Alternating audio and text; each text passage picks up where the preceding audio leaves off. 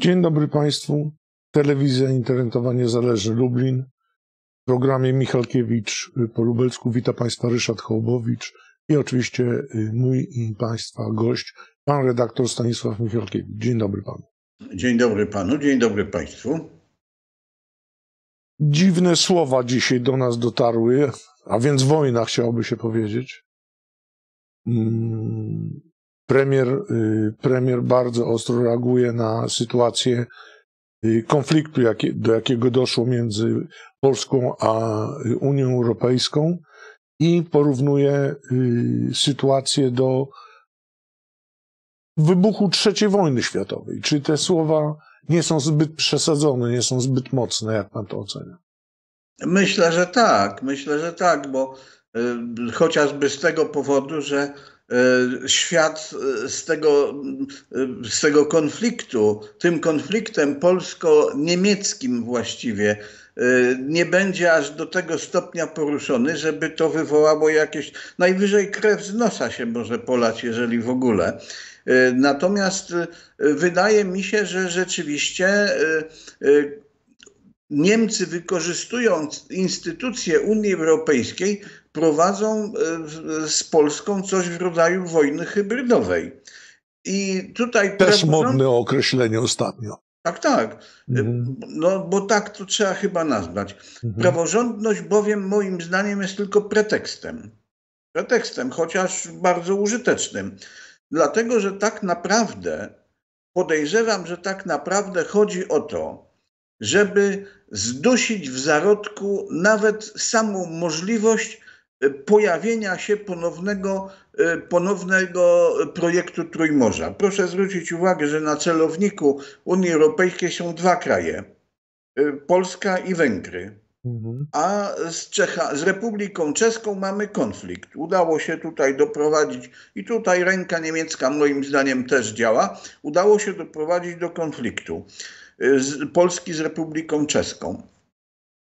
Chodzi o to, ja muszę przypomnieć y, jednak takie wydarzenia z historii y, Proszę niedawnej. Bardzo. Otóż w lipcu 2017 roku prezydent Trump powiedział w Warszawie, że projekt Trójmorza bardzo mu się podoba i że Stany Zjednoczone będą go wspierały.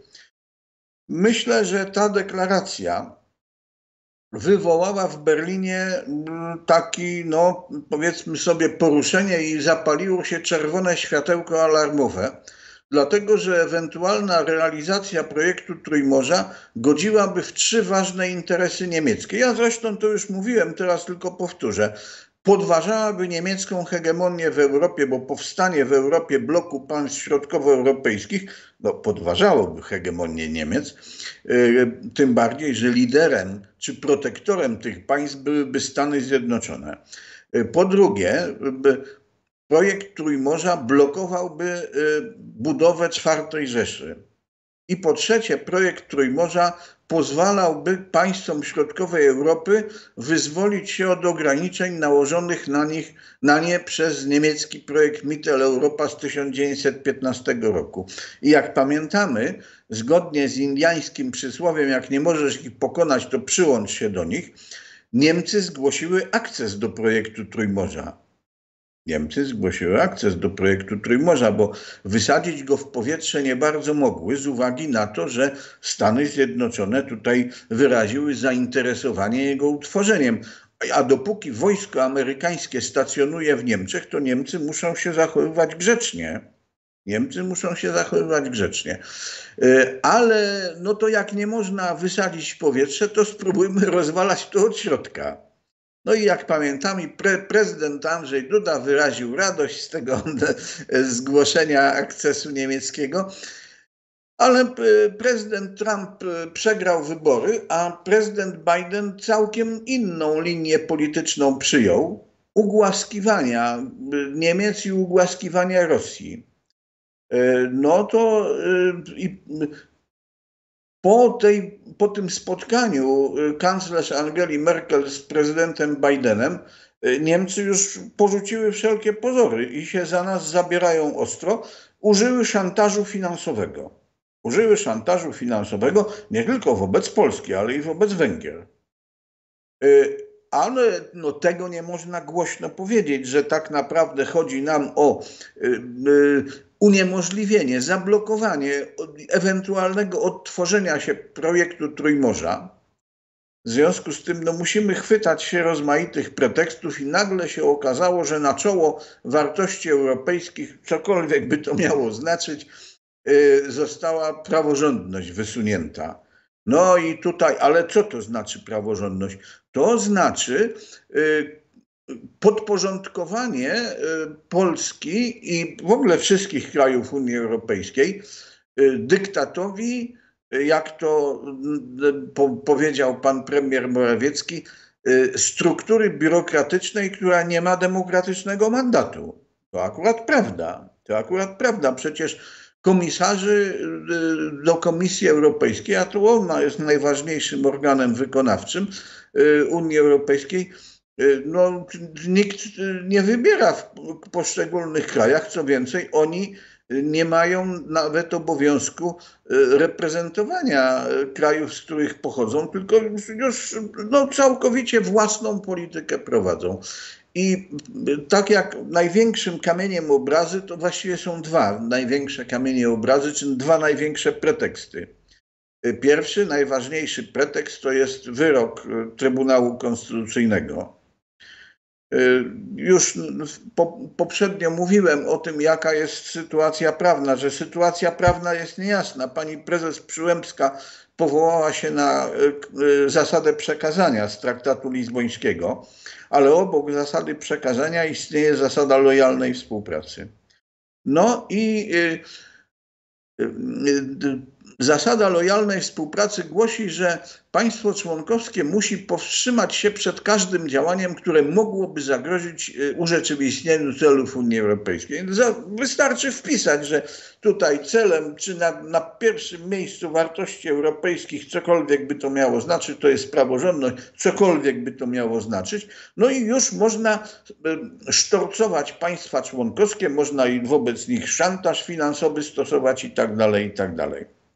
Ale Polska nie jest tak całkiem pozbawiona wszelkich atutów, chociaż jak trzeźwo zauważył e, Leszek Miller, weteran sojuszu ze Związkiem Radzieckim, a teraz Europejczyk całą gębą, że tak powiem, e, to Unia jest w dobrej sytuacji, ma wszystkie atuty, bo ma portfel. No to prawda, że ma portfel, ale nie jest prawdą, że ma wszystkie atuty bo y, po pierwsze jest artykuł 50 Traktatu Lizbońskiego, który mówi, że każde państwo może opuścić Unię Europejską, ale tylko na własny wniosek, na własne żądanie.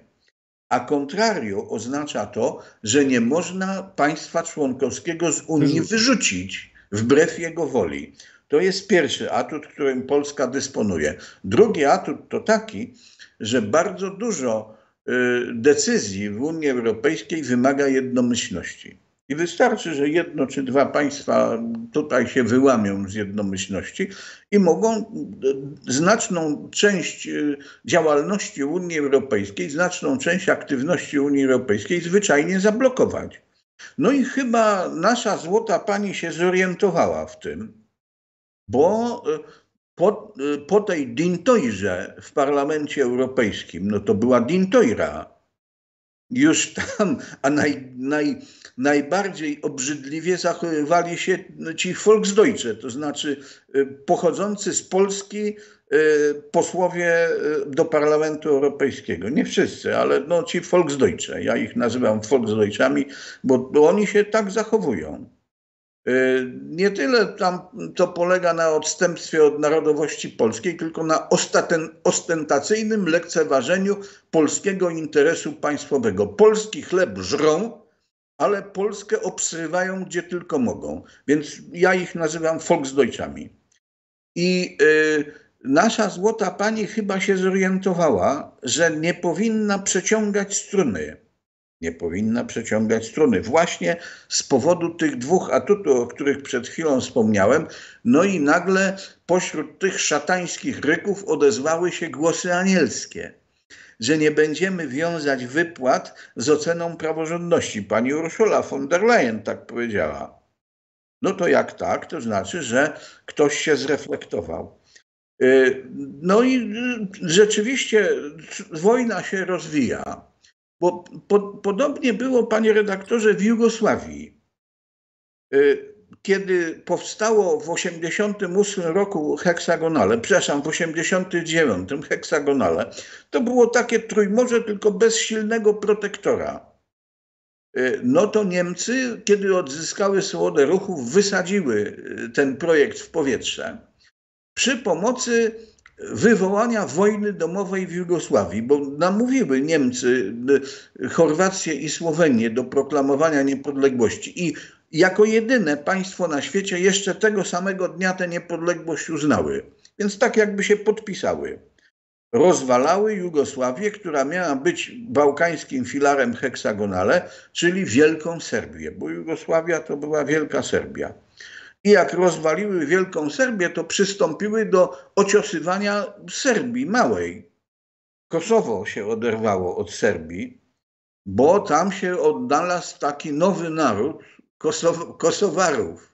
Kosowarów. No to coś w rodzaju Goralen-Folku w generalnej guberni. Hans Frank też wymyślał takie różne sztuczki, właśnie Goralen-Folk i Kosowarzy to, są, to jest taki Goralen-Folk. Pod tym pretekstem Niemcy oderwały Kosowo od e, Serbii. No i teraz próbują e, drugi raz wysadzić, nie to, że wysadzić w powietrze, bo w tej chwili projekt Trójmorza jest historycznym wspomnieniem, ale uniemożliwić odtworzenie tego w zarodku, to zdławić. No i zobaczymy, bo to jest gra o dużą stawkę. Nie chodzi o to, czy Izba Dyscyplinarna Sądu Najwyższego, psa z, z kulawą nogą to obchodzi, jak psu piąta noga. Natomiast chodzi o to, tylko jak powiadam, nie można tego głośno powiedzieć, więc głośno się tam lamentuje o praworządności i tak dalej, czemu oczywiście grono pożytecznych idiotów w Polsce akompaniuje. No to, ale to już tak było i w XVIII wieku i teraz jest. To znaczy, że się niewiele zmieniło w mentalności społeczeństwa polskiego, bo nie mówię, że narodu polskiego, dlatego że w Polsce już nie ma jednolitego narodu polskiego. Naród polski od 1944 roku został zmuszony do dzielenia terytorium państwowego z taką polskojęzyczną wspólnotą rozbójniczą. I ona się dorobiła nawet reprezentacji w Parlamencie Europejskim. Hmm. Czyli jest pan w ogóle sceptykiem, jeśli chodzi o ewentualne plany przywrócenia Trójmorza? Uważa pan, że to już jest projekt, który przepadł? Y, myślę, że tak, dlatego że no, projekt Trójmorza bez, że tak powiem, protektoratu Stanów Zjednoczonych ma małe szanse na przetrwanie. Tak jak heksagonale miało małe szanse na przetrwanie. No a Stany Zjednoczone najwyraźniej wyraziły dezinteresment tym projektem z chwilą zmiany na stanowisku prezydenta. Prezydent Joe Biden ma zupełnie inne priorytety niż prezydent Trump. W związku z tym no, projekt Trójmorza y, na razie y, został odłożony, jeśli w ogóle nie umarł śmiercią naturalną, to został odłożony ad calendas grecas. Ale Niemcy to jest państwo poważne i na wszelki wypadek jakby tam się y, następny prezydent Stanów Zjednoczonych tym zainteresował, to już żeby nie miał z czego tego trójmorza klecić. No właśnie. A jak pan sądzi, y, komu jeszcze ewentualnie to trójmorze może przeszkadzać? No, nikomu więcej. A Rosja?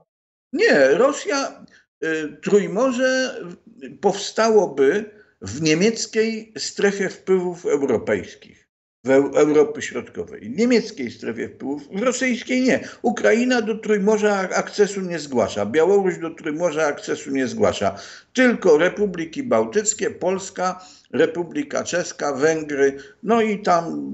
12 w sumie państw. Tak, tak. Mhm. Więc ro, dla Rosji to jest wszystko jedno, czy te, znaczy niekoniecznie, nie zupełnie wszystko jedno oczywiście, czy te państwa znajdują się pod hegemonią niemiecką, czy też się nie znajdują pod hegemonią niemiecką, tylko stanowią, że tak powiem, pod ochroną amerykańską tutaj tworzą taki polityczny organizm. No, no trochę by to pewnie Rosji też przeszkadzało, ale przede wszystkim Niemcom by to przeszkadzało strasznie. Jak mówię, godziłoby to w trzy ważne interesy niemieckie. Mhm. Dobrze, a wracając teraz do mm, tych zadrażnień na, na linii y, Polska-Unia Europejska, no daleko w pamięci nie trzeba szukać, ale jeden z czołowych polityków Zjednoczonej Prawicy, Zbigniew Ziobro, zwraca uwagę na to, że premier Morawiecki podpisuje coś, co może się odbyć y, w przyszłości czkawką. No i można powiedzieć, że stało się tak, jak zapowiadał Ziobro. No, to nie trudno było to przewidzieć, dlatego że pan premier Morawiecki sporo głupstw narobił, y, godząc się między innymi na dekarbonizację. Panie redaktorze, y, mówiłem tutaj o projekcie Mittel Europa i podam przykład, jak on jest realizowany przy wykorzystaniu histerii ekologicznej. Otóż na fali histerii ekologicznej ratujemy planetę teraz przed dwutlenkiem węgla. Oto dwutlenek węgla okazał się głównym wrogiem klasowym. E, no i w związku z tym e, wszystkie państwa Unii Europejskiej e, mają przyznane limity dwutlenku węgla, limity emisji dwutlenku węgla. Ponieważ Polska ma energetykę opartą na węglu, to żeby normalnie funkcjonowała energetyka polska, te limity są za małe. Te limity są za małe, a na przykład Francja ma energetykę jądrową, która w ogóle nie jest emisyjna, ale ma takie same limity jak Polska. W związku z tym Polska, żeby móc w ogóle funkcjonować w zakresie energetyki, musi dokupywać limity we Francji i w Niemczech. I w ten sposób płaci haracz za nic za nic, bo to jest tylko została rozpętana histeria ekologiczna. No i to właśnie, a tu mądrzy ludzie od razu pomyśleli, jak to przełożyć na y, sprawy komercyjne. No i tak się realizuje, przy pomocy takich metod realizuje się tego typu projekty jak Mittel Europa. No właśnie, zdaje się, że handel tymi uprawnieniami do emisji CO2 to w tej chwili jest naprawdę bardzo dobry biznes. No tak, to jest. Proszę pana, za nic dostają Niemcy i e, Francja, za nic dostają pieniądze od państw środkowej Europy. No to czegoż chcieć więcej? No tak. Dobrze, wróćmy na, na nasz rynek. Yy, wczoraj, tak właściwie można powiedzieć, dosyć po cichu, Wczoraj, przedwczoraj odbywały się y, wybory na y, szefa Platformy Obywatelskiej. W zasadzie wszyscy się spodziewali, jaki będzie wynik, bo był jeden, jedyny kandydat, Donald Tusk, ale jednocześnie były też wybory na, jak to w SLD mawiano, na baronów, czyli na takich szefów regionalnych. I tu doszło do paru niespodzianek, między innymi tak faworyzowana przez Donalda Tuska Agnieszka Pomaska przegrała w Gdańsku i też niespodziewany był wynik bodajże w, w, w Dolnym Śląsku, we Wrocławiu. Mm, jaki wpływ teraz te wybory będą miały na, na to, co się będzie działo z polityką? No, Donald Tusk jest już prawowitym władcą Platformy. No jest prawowitym władcą, ale na, trochę na takiej zasadzie, panie reaktorze, jak Edward Gierek był władcą. Też był jedynym kandydatem i tak dalej. No i tutaj te wszystkie y, ceremonie y, wyborcze się odbywały. Natomiast to, że tam pani Pomaska i zdaje się jeszcze jeden protegowany Donalda Tuska tak. nie przeszedł w wyborach. Właśnie we Wrocławiu, tak.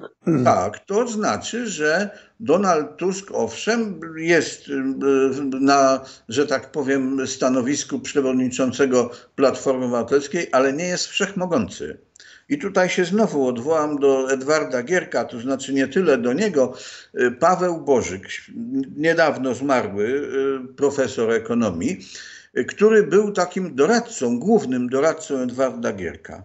w swojej książce pisze, że jeszcze w pierwszej połowie lat 70. zwracał uwagę Edwardowi Gierkowi, że nie można za bardzo rozbudowywać tego frontu inwestycyjnego, bo to jest po prostu bardzo groźne dla przyszłości. Wkrótce nastąpi czkawka. I Edward Gierek miał mu powiedzieć, bo on tak pisze w tej książce swojej, tak napisał, że no tak, ale ja nie mogę tego zrobić, bo by sekretarze mnie po prostu rozsmarowali na podłodze, bo oni też chcieli pyski umoczyć w melasie. I e, e, sytuacja Donalda Tuska jest właśnie bardzo podobna. Dla tych baronów to jest dobrze, że tutaj Donald Tusk trzyma, że tak powiem, partię w garści, ale on też jest zakładnikiem baronów. To nie jest tak, że on wszystko może z nimi zrobić. Tak samo jak Jarosław Kaczyński. To nie mhm. jest tak, że Jarosław no Kaczyński jest wszechmogący.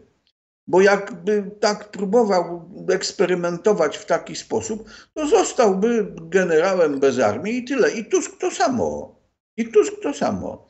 Czyli Lenin ogóle... wiecznie żywy, tak? Kadry rządzą. Tak, tak, tak. Więc to partie, partie y, te nasze, te główne, one pozornie mają charakter wodzowski, ale ci wodzowie to są zakładnikami swojej tej kamaryli, tych swoich pretorian.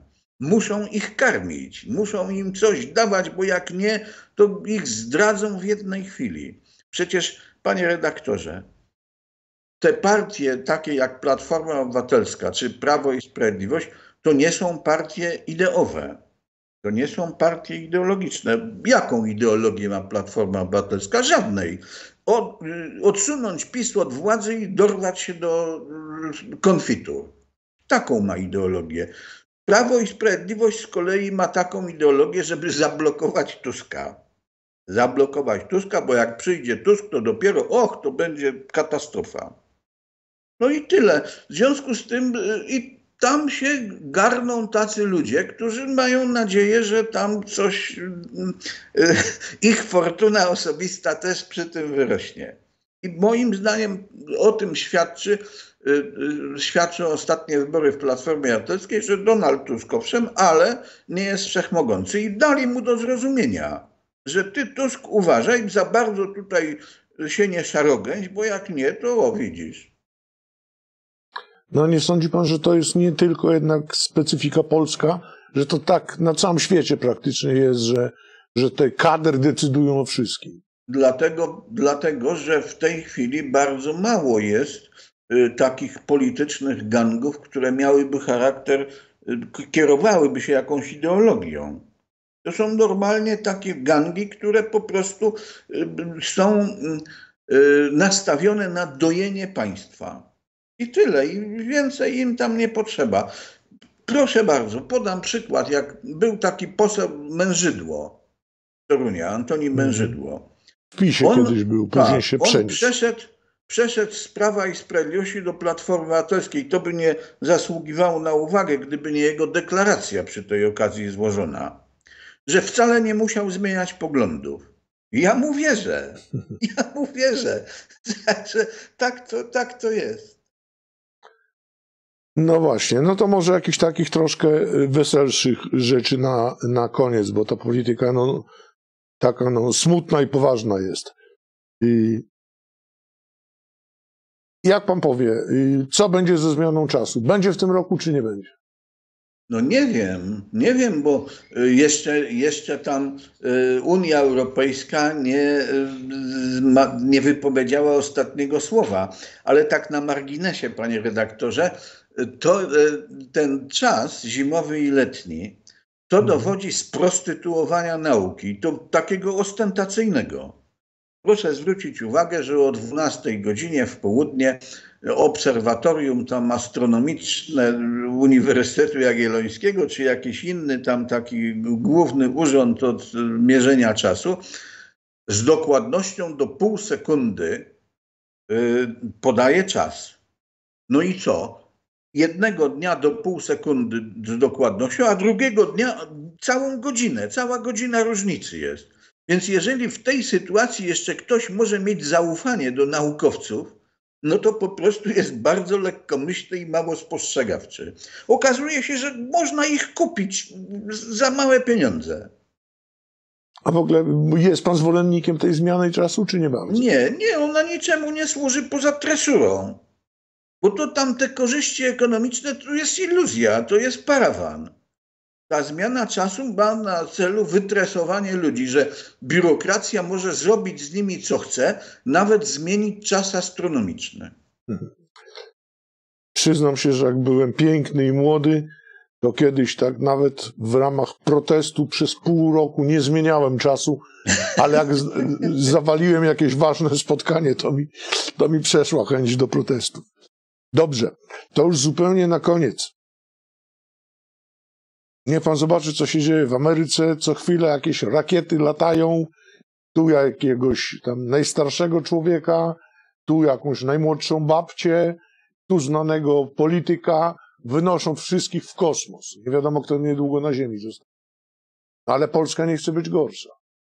Nie chce być gorsza. Powołała Polska, zaraz czytam, żeby byka nie zrobić, polska y, strategia kosmiczna, jest coś takiego, przyjęte zostało to w 2017 roku przez rząd i w ramach tej strategii y, istnieje coś takiego jak, uwaga, Krajowy Program Kosmiczny. I żeby było fajnie, to na stanowisko przewodniczącego Rady Polskiej Agencji Kosmicznej postawiono panią wiceminister Olgę Semeni. No nic, tylko pogratulować pani. No to na pewno ona jednym susem skoczyła do gwiazd. Jednym susem skoczyła do gwiazd. Inna sprawa, że pani Semeniuk właściwie no jeszcze nie wynaleziony został taki aparat fotograficzny, który by uwiecznił y, jej zasługi na polu badania przestrzeni kosmicznej. Jak na razie największym jej sukcesem to jest współpraca z panem ministrem Dworczykiem. I to chyba dzięki temu do tych gwiazd wyleciała. Dlatego, że to zresztą Rzymianie przewidzieli już starożytni taką sentencję per aspera ad astra, przez trudy do gwiazd. Myślę, że no, współpraca z panem ministrem Dworczykiem, nazwijmy to, do łatwych pewnie nie należy. No i ona te trudy jakoś bohatersko zniosła i została e, wyróżniona.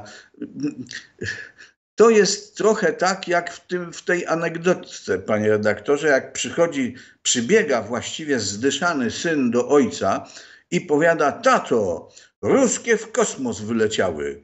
A ojciec mówi, wszystkie? Nie, jeden. No to co mi głowę co zawracasz? głowę zawracasz, tak jest. Polska prowadzi podbój kosmosu, że aż dech nam zapiera. Nie wiem właściwie, co takiego robi, no ale każdy pretekst jest dobry, żeby utworzyć urząd. Czyli żeby, żeby zarobić parę złotych. tam wsadzić tak. na stanowisko dyrektorskie.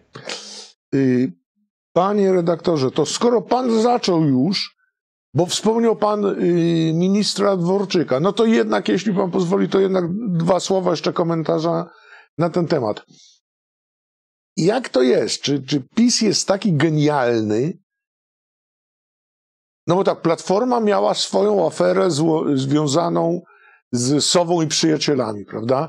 Były podsłuchy, te taśmy latały, biegały, tam ABW próbowało gdzieś tam odebrać w jakiejś redakcji, to dzielny dziennikarz dał odpór oczywiście.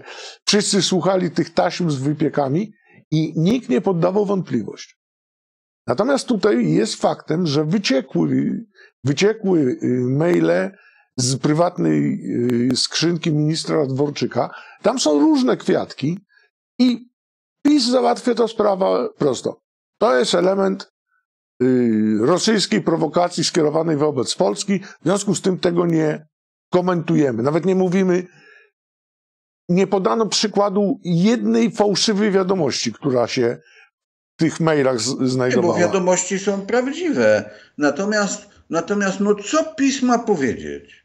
I, to tak... jest jasne, to ja się zgadzam, ale dlaczego Platforma jest taka bezradna? Tego nie, nie rozumiem. Platforma, platforma była bezradna, bo to też wszystko było prawdziwe. My w ogóle po, poznaliśmy tylko wierzchołek góry lodowej, bo tam było 900 godzin w, po knajpach nagranych i 700 godzin w rezydencji premiera Tuska.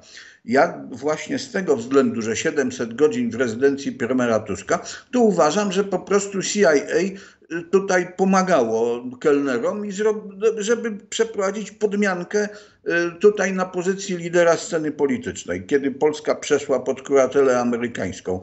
A tutaj to nie Rosjanie, nie Putin to robi, tylko PiS nie może powiedzieć prawdy, że to robi BND, że to robi niemiecka BND. Mhm. Putin tam może i robi, ale akurat chyba nie to. Ajajajajaj, panie redaktorze. Kolejny raz mówi pan, jacyś Niemcy źli, a ci Rosjanie w zasadzie dobrzy. Nie, Niedługo nie nas skomentują, że, że pan jest szpion rosyjski. A to tak, tak jak niektórzy ja, mówią. Ja się, nie, ja się o to nie gniewam, tylko mówię, odpowiadam na te wszystkie oskarżenia, że może szkoda, że to nieprawda. Ale y, dlaczego ja tak, dlaczego tak mówię? Dlatego, że dopóki istnieje strategiczne partnerstwo niemiecko-rosyjskie, no to takim kamieniem węgielnym tego strategicznego partnerstwa jest podział Europy na strefę wpływów rosyjskich i strefę wpływów niemieckich. Polska jest w strefie wpływów niemieckich i Rosjanie to respektują. Jakby to partnerstwo przestało istnieć, a to wtedy już wszystko jest możliwe. Ale na razie jest tak. W związku z tym Polska jest oczywiście wy, wywiadowczo penetrowana przez Rosję. To jest jasne, to inaczej Co? być nie może. Po to mają wywiady państwa, żeby to robić. Natomiast na, Rosjanie respektują to, że Polska jest w niemieckiej strefie. I teraz, kiedy prezydent Biden podarował Polskę naszej złotej pani Warendę, no to oni to zagospodarowują ten Lebensraum, prawda? Co mają robić? I Donald Tusk z takim tutaj zadaniem do Polski przyjechał. No tak, skomplikowane to wszystko, ale z kolei jak się pana posłucha, to pewne rzeczy stają się prostsze. Dziękuję bardzo panie redaktorze za dzisiejszy program. Do naszych kochanych widzów prośba tradycyjnie, ale tym niemniej bardzo gorąca Potrzebujemy Waszej pomocy, potrzebujemy wpłat, które przysyłacie nam na konto, bo tylko dzięki, dzięki Wam y, istniejemy. Dziękuję bardzo y, Państwu za uwagę. Proszę o wpłaty. Panu redaktorowi y, dziękuję za dzisiejszy program. W przyszłym tygodniu będzie drobna zmiana. Będziemy się widzieli nie w poniedziałek, a w środę, jako że w poniedziałek jest święto wszystkich świętych. A więc do zobaczenia w przyszłym tygodniu. Dziękuję bardzo.